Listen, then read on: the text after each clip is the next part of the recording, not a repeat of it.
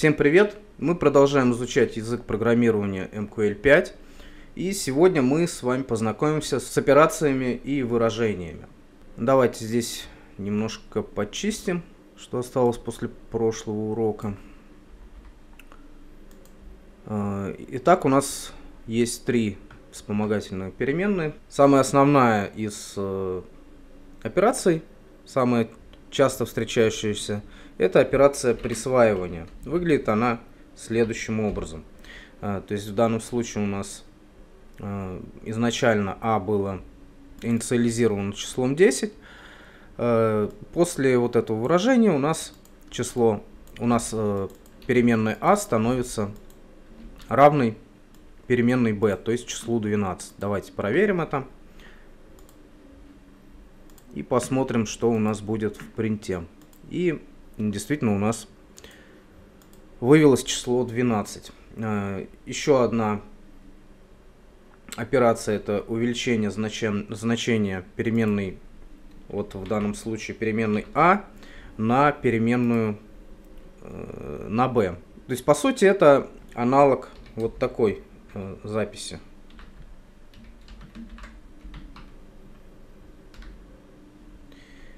Давайте проверим это на практике. То есть в данном случае у нас должно быть должно получиться число 22. Э, как видим, так и вышло. Э, следующее. Тут, в принципе, аналогично. В данном случае а будет минус 2. То есть э, это операция уменьшения значения переменной а на b. Следующий вариант. Это умножение значения переменной а на, э, на b, то есть в данном случае на 12. И у нас получится число 120. Также можно записать и деление. Э, то есть в данном случае значение переменной а становится равно, э, равным операции деления А на Б. Э, еще один не так часто как бы, встречающийся вариант, но в некоторых случаях достаточно полезный. Это э, получение остатка от деления значения переменной а на переменную b. Э, ну, в данном случае а у нас 10, b 12. Давайте посмотрим, что у нас получится. Получится у нас число 10. Еще два варианта операций это э, сдвиг двоичного представления переменной а вправо на b байт. Э, то же самое для сдвига влево. Э, ну, вообще побитовые операции встречаются при написании экспертов либо скриптов крайне редко. И, возможно, мы в каком-либо уроке это все э, рассмотрим, но сейчас мы подробно на побитых операциях останавливаться не будем. Собственно, еще есть э, несколько побитых операций. Это, во-первых, побитовая операция И для двоичных представлений э, переменной А и Б. Также есть у нас двоичная операция или для опять же, двоичных представлений переменных а и b. Есть у нас еще побитовая операция, исключающая или для двоичных представлений переменных а и b. Вообще побитовая операция производится только с целыми числами. В каждом выражении может быть только одна операция присваивания. То есть мы не можем там записать, например, что-нибудь вроде вот такого и там как-то что-нибудь типа там вот, вот этого. Ну, то есть тут, э, собственно, действует правило, как в обычной школьной математике. Следующий тип операций – это операции отношения. То есть э, также они называются как булевые операции. Собственно, как мы помним из предыдущего урока, Э, логическое значение ложь э, представлено в языке MQL, да и в, во многих других языках, практически во всех, э, целым нулевым значением. А значение истины представляется любым абсолютно не нулевым значением. Э, давайте посмотрим, какие есть вообще булевые операции в языке MQL. Например, у нас есть... Так, давайте перефразируем print наш вот таким образом. В данном случае у нас выражение будет истинным, если а равно b. Так как у нас а не равно b, э, мы получим false. Э, далее. Вот такое выражение. Э, результат этого, этого сравнения будет истинный, если а не равно b.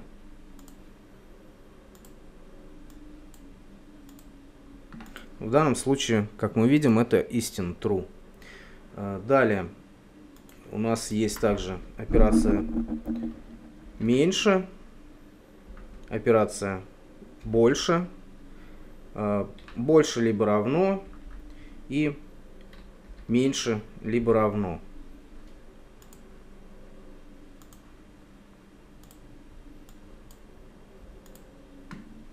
Ну и в данном случае А действительно меньше либо равно, чем b. Ну, то есть в данном случае меньше. Не стоит э, два вещественных числа э, сравнивать на равенство э, друг другу, так как в прошлом уроке я еще говорил, что довольно часто вроде бы два одинаковых числа могут оказаться неравными из-за разницы значения в каком-нибудь там 15 знаке после запятой.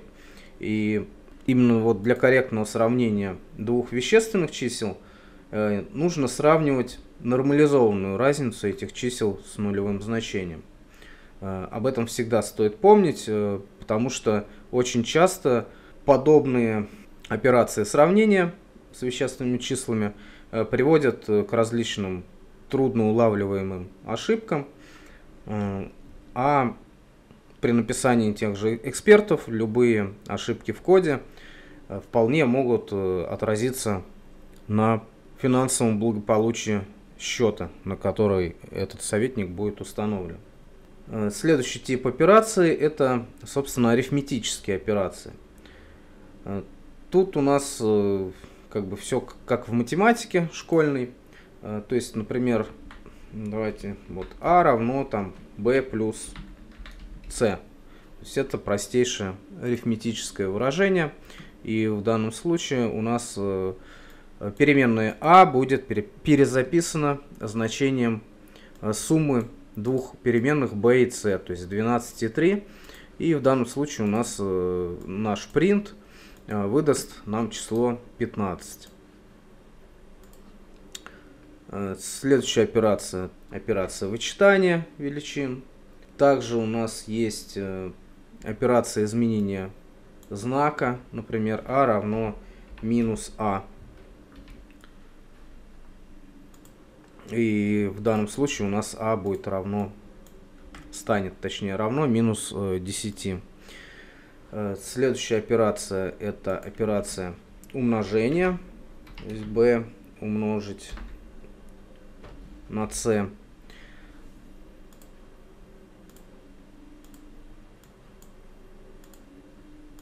мы получаем число 36. Операция деления. b делить на c.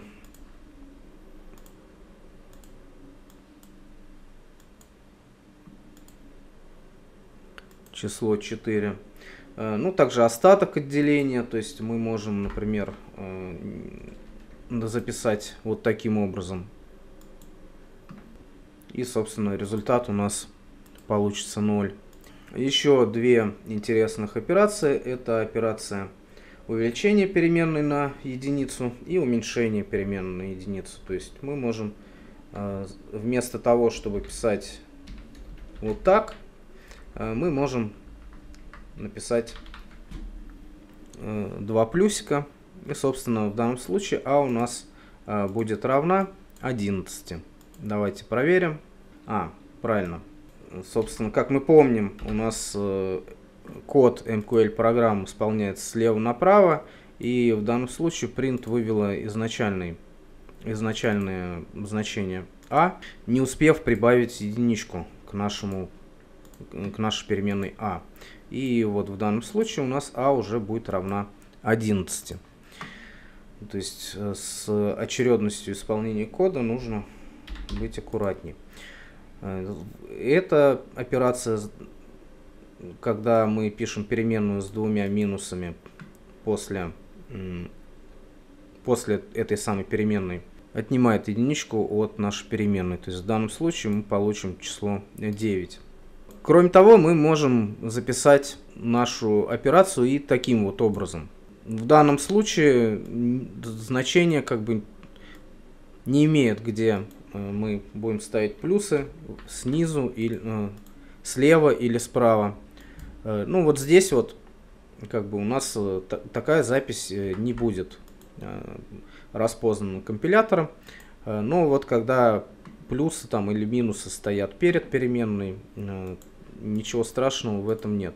Последние две операции а++ и А-, э, не могут э, быть, не могут применяться в выражениях. То есть мы не можем написать что-нибудь типа b плюс там c плюс плюс. Э, такое выражение будет работать некорректно. Ну или хотя в данном случае, возможно, отработает все правильно,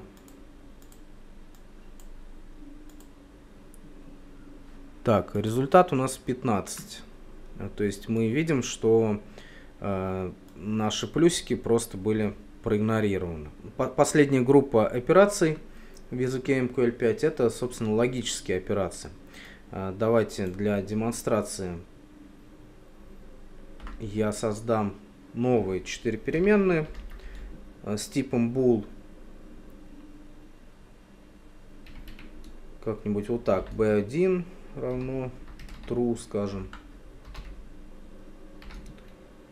B2 равно false, например. b3 снова true. b4 false.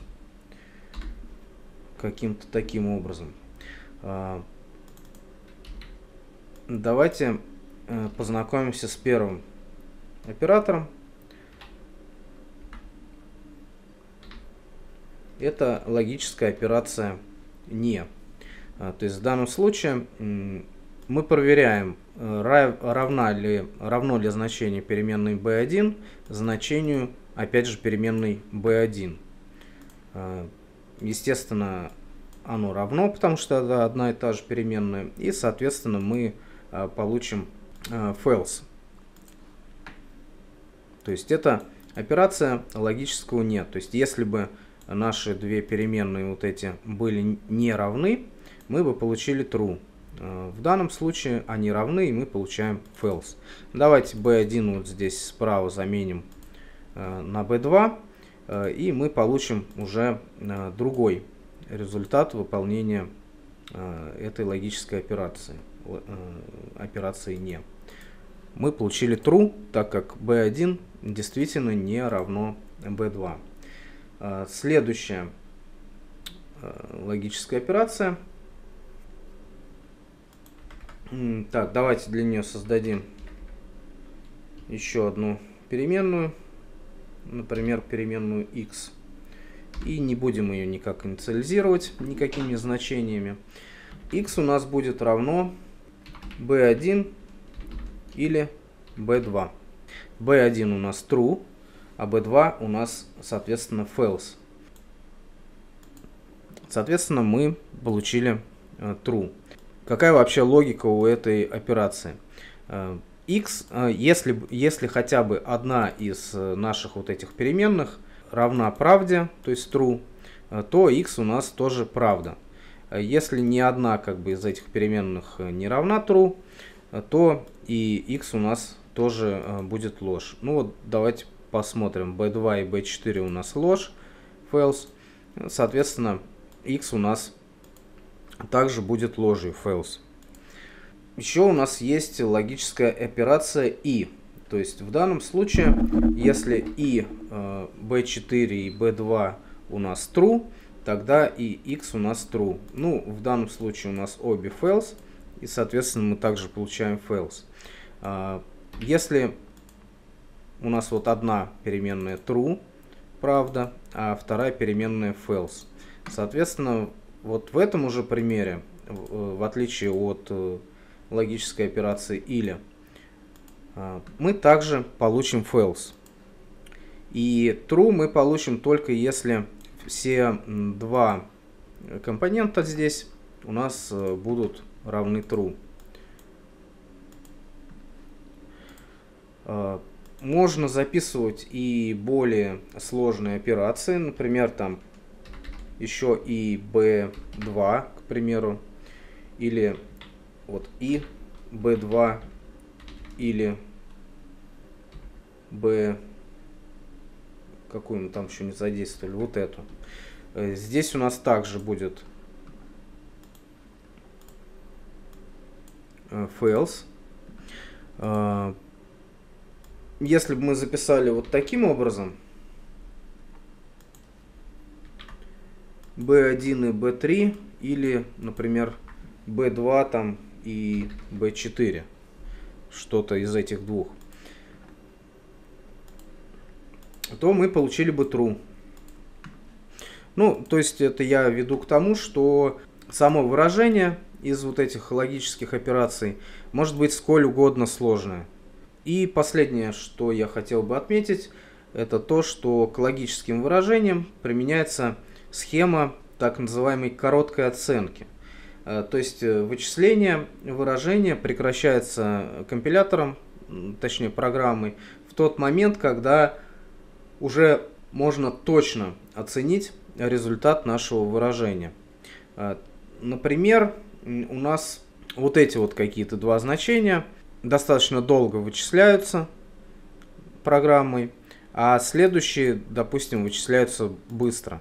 А, тогда стоит поменять их э, местами таким образом, чтобы э, вот эти, например, шли впереди, а более трудно вычисляемые значения шли э, позже. А тогда если программа уже точно будет знать, что вот это вот выражение, э, ну, то есть, что выражение уже точно, точно ложное, ну, вот, то есть, например, вот, вот в этом вот случае, если мы вот так напишем, b2 э, у нас уже false, соответственно, x уже точно можно сказать, что будет false.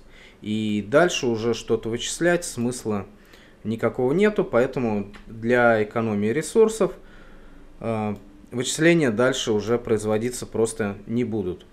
Очень много времени и кода при написании MQL5 программ занимают именно операции выражения различные, логические операции, арифметические операции, операции сравнения и отношения, булевые операции, операции присваивания – и, соответственно, все это э, основа э, языка MQL5, и ее нужно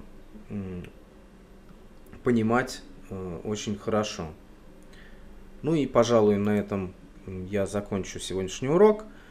Видео было записано специально для сайта Trade Lake Pro. Всем пока!